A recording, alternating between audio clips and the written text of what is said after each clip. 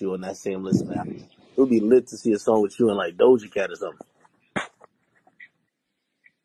Boy, if I ain't have a family, if I ain't have a girl upstairs, I'd be trying to marry Doja Cat. Fuck you, fuck you talking about, man. You, you, know- you know, you know about my touch. I, I be For trying real? to marry, you. But nah, man, I got nah, bro. I got I got my little girl and, my, and her mom upstairs. You know, I ain't I ain't fucking around like this. Nah, nah, nah. I feel you respectfully, respectfully. But but but shit, what is it about Doja Cat? Is it her music or just like kind of style type thing?